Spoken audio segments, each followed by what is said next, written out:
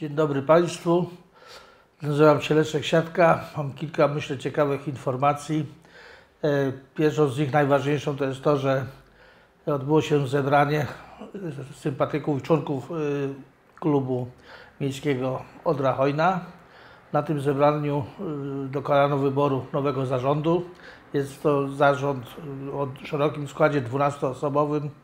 Mnie między innymi wybrano na prezesa klubu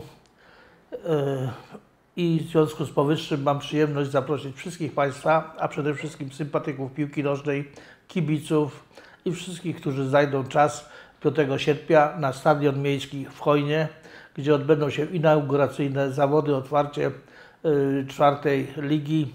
Pierwszy mecz, ważny mecz, tym bardziej, że klub wchodzi do sezonu w okrojonym składzie. Y, ci koledzy, którzy y, byli, można powiedzieć, trzonem zespołu doznali pewnych kontuzji, musieliśmy dokonać pewnych zmian, dlatego obiecujemy Państwu, że będziemy walczyć od początku do końca, natomiast rezultat y, pozostanie na boisku i jest dzisiaj pewną niewiadomą, natomiast y, damy z siebie i drużyna, i działacze y, wszystko, co tylko można.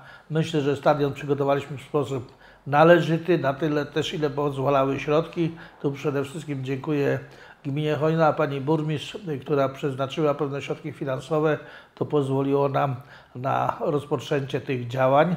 Oczywiście one będą miały ciąg dalszy. Ważnym jest, że w czasie tego spotkania inauguracyjnego y, wstęp jest wolny, tym bardziej zapraszamy wszystkich.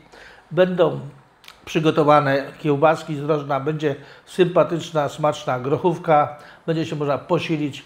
Taka informacja, że stadion, bramy stadionu będą otwarte już od 16.30, a po prostu y, bawimy się tak długo, jak będziemy y, chcieli.